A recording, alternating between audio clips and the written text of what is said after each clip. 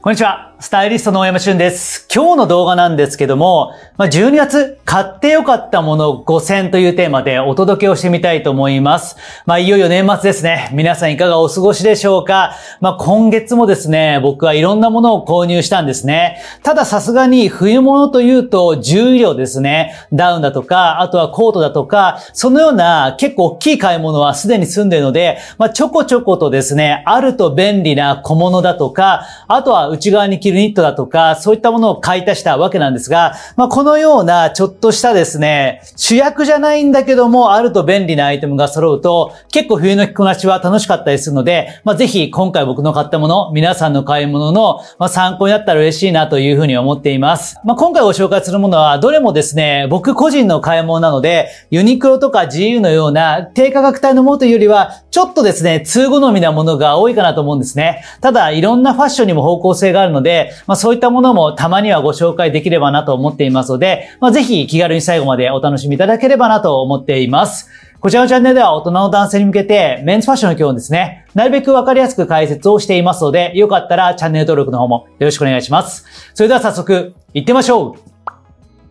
はい。ということで、ここからはですね、12月に僕が買ってすごく良かったものをですね、皆さんに一つずつご紹介したいなと思ってるんですが、まず1点目はですね、今僕が着てるものなんですが、ビューティーユースで購入しました、エアシャギアルパカクルーネックニットの、えー、ナチュラルというカラーですね。ちょっと立ってみますね。これがなかなか良かったんですね。まあデザイン的にはかなりオーソドックスです。木をてらったところはなくて、まあ今っぽいシルエットの少しゆとりがあるんですが、まあそんなにこうワイドになりすぎないような雰囲気で、非常に使い勝手のいいニットになってるんですね。まあ僕はもうニット大好きでいろんなものを買いましたが、まあどこがちょっと気に入ったポイントなのかというと、エアシャギーということで、すごく軽くてですね、まあシャギーということでちょっとこう表面が毛羽立っているんですよね。このようなモフモフ感のあるニット、まあちょっと今回はトライしたいなということで、で購入していました。なかなか季節感があって、デザインがベーシックなんですけども、このふわふわ感が僕の中では結構ハマりまして、最近よく着ています。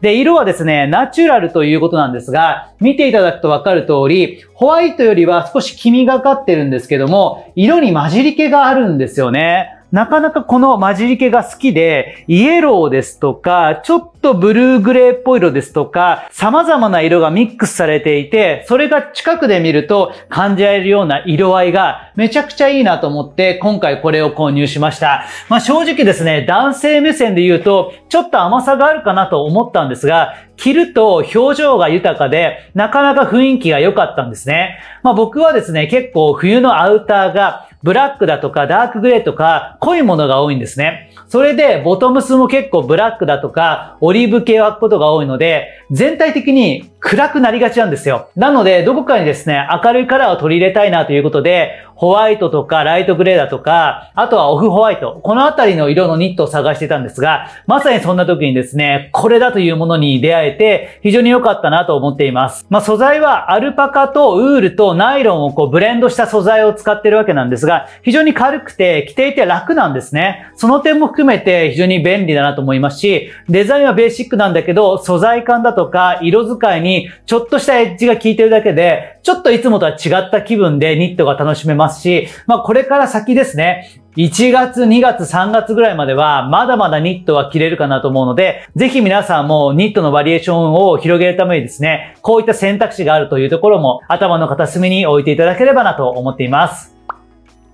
はい。続いて2点目、12月に買って良かったものなんですが、またもやですね、ニットなんですね。ただ先ほどの丸首ニットとは違って、ベーシックよりもややトレンド感の溢れるようなデザインになってまして、ジップアップタイプのカーディガンになってるんですね。ちょっと立ってみましょうか。このような形ですね。まあ、真ん中にジップが走っていて、襟はスタンドカラーになってるんですね。いわゆるこうドライバーズニットと呼ばれるようなものに近いかなと思うんですが、まあ、スティーブ・アランのこちらのニットを購入しました。まあ、このブランド僕大好きで今年めちゃくちゃ購入しましたね。そんな大好きなスティーブン・アランの特徴としては、まあ、デザインはですね、ミニマルですごく使い勝手がいいんですが、サイズ感が今っぽいんですね。これ今着てるのは S サイズなんですが、結構ゆとりありますよね。身幅もたっぷりめですし、丈も長めです。肩もですね、まるっと落ちてるような感じなので、すごく今っぽい雰囲気のサイズ感になっているんですね。で、編み方としては、ローゲージで、あぜが縦に走っているような形で、このあたりもすごく雰囲気が良くて、まあ、平坦な感じのニットではなくて、ちゃんと気映えのするような雰囲気が個人的にもとても気に入っています。で、一応こちらダブルジップになっていまして、下からも開けることができるんですね。こんな風に開けてあげると、下に着てる T シャツとかシャツをですね、覗かせることができるので、ちょっとした着こなしのポイントも作りやすいので、そのあたりも気に入っています。今季はちょっとドライバーズニット欲しいなということで、いろんなブランドのものを見てみたんですね。結構どこも人気ですぐ売り切れてしまう状況だったんですが、まあ、その中で一番しっくりきたのが、このスティーブン・アランのモデルなんですね。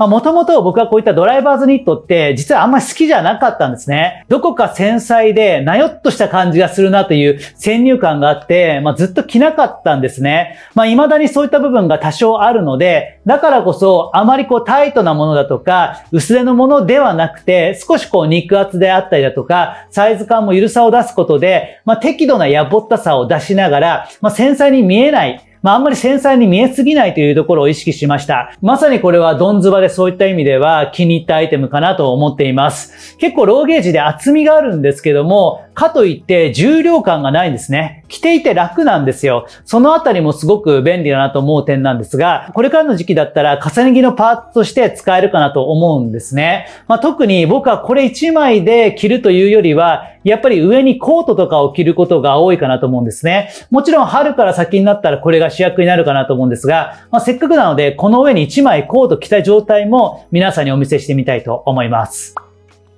はい、コートを着てみましたが、いかがでしょうか？まあちょっと上半身の上の部分しか見えてなくて恐縮なんですが、やはりですね、このようなドライバーズニットって、綺麗めなコートとの相性が抜群にいいなと思ってるんですね。今僕が着てるのは、昨年購入したテアトラのですね、デバイスコートというものなんですが、まあこれ単体ではそんなにあったかくないんですね。シャカシャカしていて、風は通さなくていいんですが、まあこれ自体に保温性があるわけではないので、内側着込みたいなと思ったりするんですね。まあその時にこういったドライバーズニットっぽいですね、首元まであったかいものを着ることで、だいぶですね、ね冬でも使い勝手が良くなってくるかなと思うんですね。こちらのコートが。で、このドライバーズニットの首元の雰囲気、スタンドカラーでジップというところが見えるだけで、全然ですね、丸首のニットよりも今っぽくなるので、そういった点では1枚あるとすごく便利なのかなと思います。まあカラーはですね、これネイビーということで、すごく深めではあるんですが、まあブラックとネイビーというのも相性がいいので、このような形で、ちょっとこう、コートとですね、合わせながら、僕は活用したいなと思っています。もうちょっと在庫がどうなんですかね、あんまり多くはないかなと思うんですが、まあ、ぜひ皆さんもですね、こちら、なかなか名作のドライバーズニットだと思ってますし、他にはですね、ないような表現だと思うので、ぜひチェックをしていただきたいなと思っています。はい、続いて3点目の買って良かったアイテムなんですが、えー、こちらですね、今着ているレミレリーフの PC 裏毛パーカーブラックですね。これはですね、決して派手さはないんですけども、地味に使いやすくてですね、買って満足度が高かったアイテムの一つかなと思います。まあ、表記はブラックという形になっているんですが、まあ、よく見るとですね、ちょっとこう、墨黒と言いますか、チャコールグレーと言いますか、少し色が退色したような雰囲気ですね。このあたりの色の表現が、まさにレミレリーフらしいなと思って、個人的にはめちゃくちゃ気に入っているポイントなんですね。まあ、パーカーというと、もう結構ベーシックなアイテムで、誰もが経験したことがあるようなものだと思うんですが、まあ、だからこそ、色合いだとか、素材の風合いってものすごく重要だと思っていて、まあ、こちらのパーカーはですね、本当に色合いが曖昧で、そのあたりになんかヴィンテージらしさだとか、ちょっと味わい深さを感じて、個人的にはめちゃくちゃ気に入っているんですね。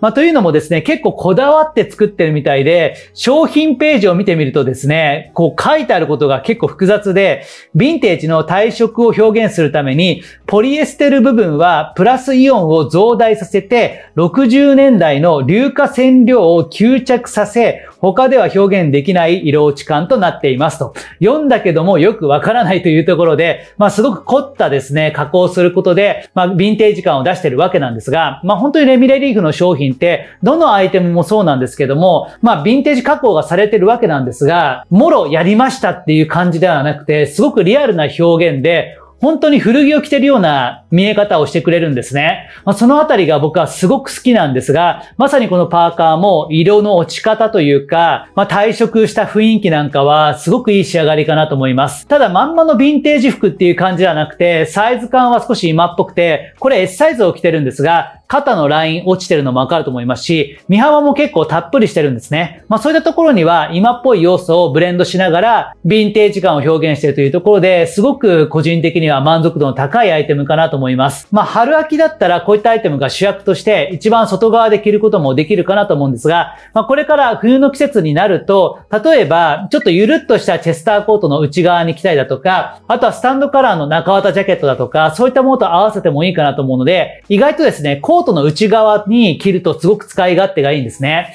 やっぱりフードがあるかないかで、だいぶ雰囲気が変わるので、綺麗めなコートとの相性なんかは非常にいいかなと思うので、これからの季節もガンガンに活用したいなと思っています。まあ、パーカーみたいなカジュアルなアイテムは、大人の男性にとっても、もうすごく見慣れたアイテムだと思いますし、一着あると便利だと思うんですね。まあ、そういったものを、まあ、ユニクロだとか GU とかでも買うこともできるんですが、たまにはこう、ちょっとこだわりを持って、人との違いを出しながら買うのも、なかなか気分が上がるかなと思うので、ぜひチェックをしていただければなと思っています。はい、続いて4点目のアイテムなんですが、実は手元にあるんですね。こちらのですね、手袋を購入しました。はい。こちらですね、アンドワンダーのアイテムで、ウールニットグローブというものなんですね。これはですね、派手さはないんだけども、地味に買ってよかったアイテムかなと思っています。まあ、先日の動画の中でも手袋を皆さんにご紹介したわけなんですが、ノースフェイスですとか、あとはシップスのオリジナルですとか、まあ、そういったもの、一般的には使いやすいかなと思うんですが、個人的にはやや癖のあるものを使いたいという志向性がありまして、そこで何か良いものないかなとずっと探していたんですですが、たまたまですね、僕が大好きなアンドワンダーのサイトの中でこちらを見つけたので、通販で今回購入してみました。非常に満足度が高かったです。防縮加工を施したメリノウールを使ったニットグローブということで、まあすごくね、こう表面の質感も含めて上品で大人っぽいんですね。まあこう裏側を見るとすごくベーシックで使い勝手のいい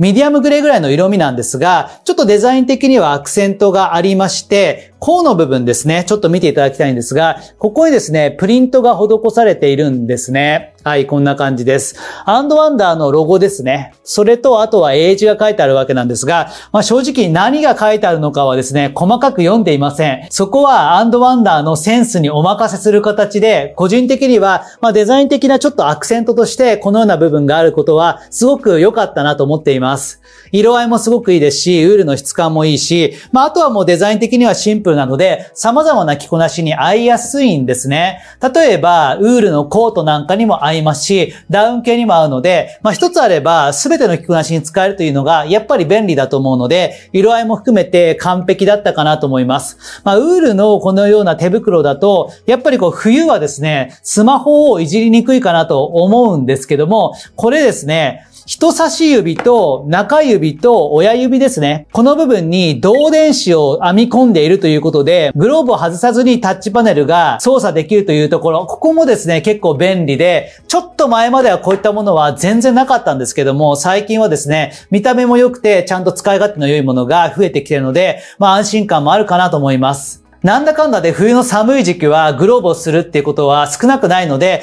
まあちょっと良いものを買って複数年使うのもいいかなと思うので、これは久々に買って良かったアイテムかなと思います。ちょっとスポーティーに動きたい時にはノースペースを使って、まあ普段ちょっとおしゃれをしたいなという時にはこのアンドワンダーを使うという形で僕は使い分けたいなと思いますので、ぜひ皆さんもチェックをしていただきたいなと思っています。